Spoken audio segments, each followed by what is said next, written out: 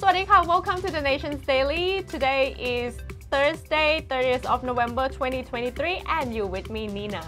According to the Royal Gazette, former Prime Minister Prayut Chan-o-cha has been appointed to the Privy Council by His Majesty King Maha Vajiralongkorn. In the latest World Bank report, improvements in worker skills and increasing female participation in the labor force are some of the key recommendations to Thailand tackling inequality and poverty.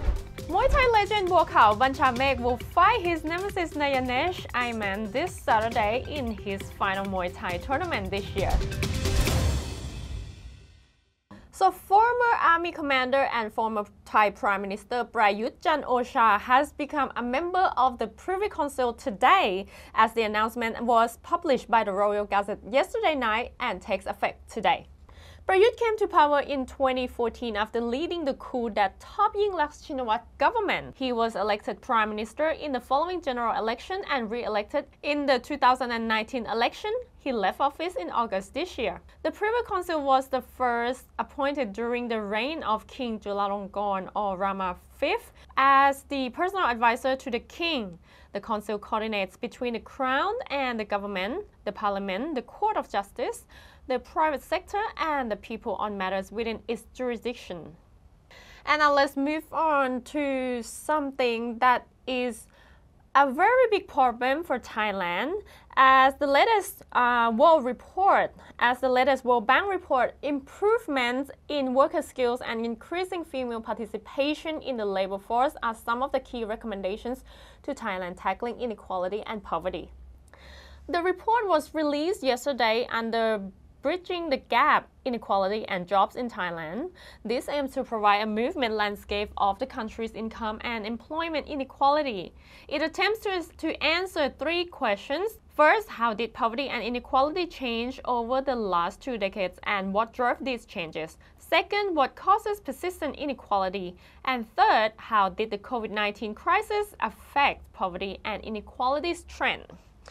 The report revealed inequality in Thailand began very early in life with unequal opportunities for human development and persists throughout the life cycle and across generations while the report examines patterns of poverty and inequality in Thailand and how the pandemic affected their trends. It pays special attention to the inequalities in the labor market. According to the finding, Thailand has made significant progress in closing the wealth and poverty gap since the early 2000s, but progress has slowed since 2015. Thailand had the highest level of income-based inequality in the East Asia and Pacific region in 2021.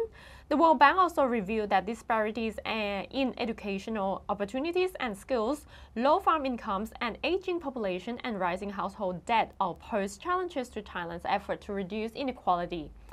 Although COVID 19's effects on poverty and inequality was relatively mild, the pandemic may have exacerbated the existing gap in the learning outcomes and household debt challenges.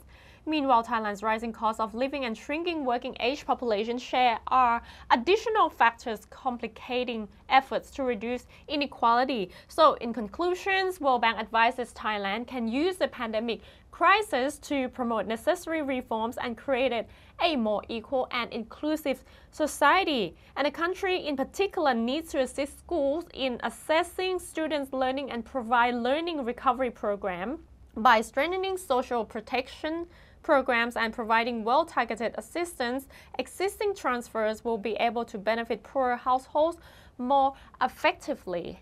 And with this, Nong Lak, who is our reporter, has more details about this as she attended the conference and also she interviewed uh, Nadia Belhaj Hassine, the World Bank poverty economist.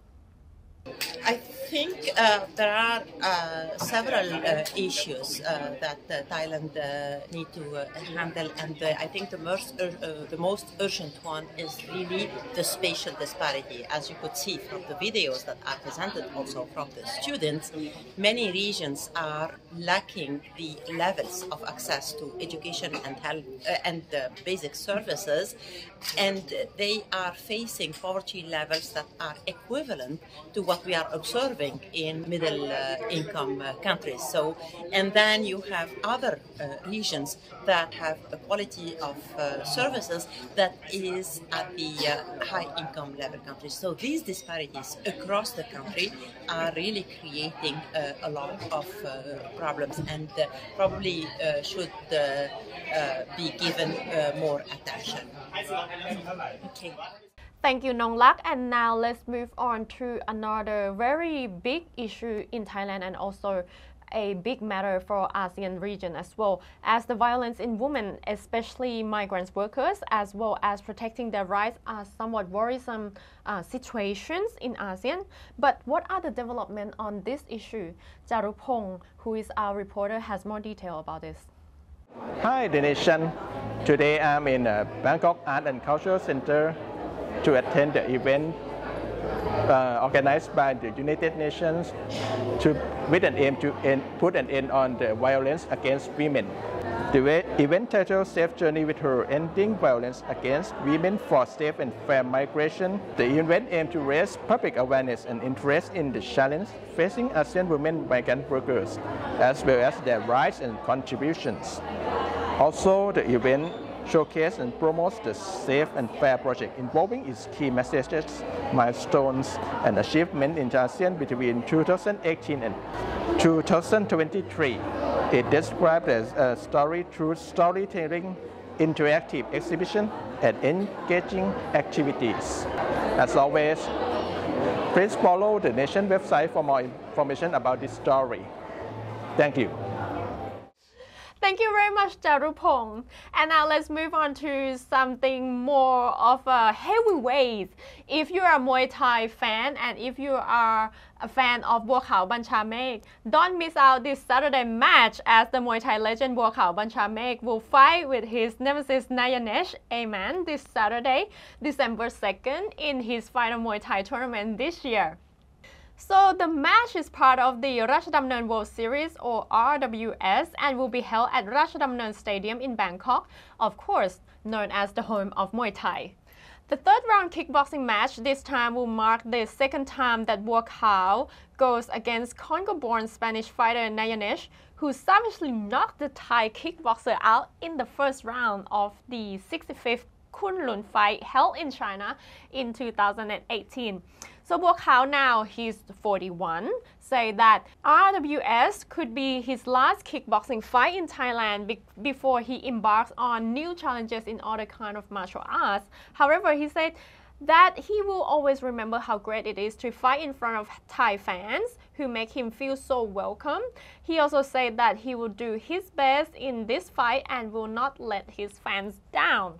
So this Saturday there will be a total of eight Muay Thai fights. The Buakaw versus Nayanesh is gonna be in the last in the Saturday's program and will wrap up the series for this year. And the matches will also be aired around the globe in in over 200 countries by design and tickets are available at rajadamnern.com. So if you don't have anything to do these weekends, why don't just go and support Buakaw and also other kickboxing fighters at Rajadamnern Stadium this Saturdays. And that's all for the Nation Dailies today. You can also find out more information about us on our website nationthailand.com, also on our social media Facebook, X and Instagram. For now, สวัสดีค่ะ